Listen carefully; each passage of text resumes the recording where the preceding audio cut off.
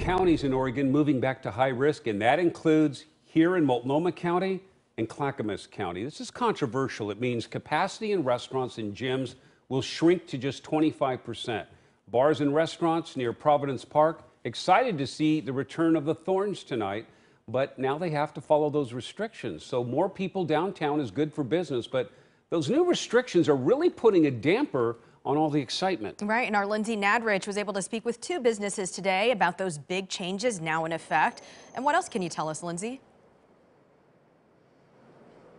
Yeah, well, as you mentioned, starting today, restaurants have to go back to 25% capacity for indoor dining. And on, on, a day where they're expecting more customers, they tell me that's disappointing. The owners of the Cheerful Bullpen say it's been an extremely difficult year. They had to convert part of the bar into a store just to survive.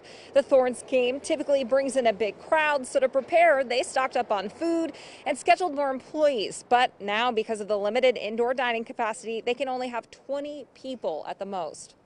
So we now have overstock of food. I had to call off multiple staff, um, so now more employees have are don't have employment tonight because of it. So it's just one more kick in the stomach.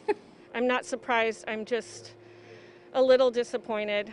I honestly I don't think that our reduction of 25 people out here is going to make that big of a difference um, in terms of the safety protocols. The Goose Hollow Inn is also typically sees a lot of Thorns fans come in on game day. Their indoor dining isn't open yet, but they do have a large outdoor area, and the new restrictions means instead of 100 people, they can only have 75. The owner says losing 25 customers on game day can really impact their bottom line, especially after a year that's been so tough.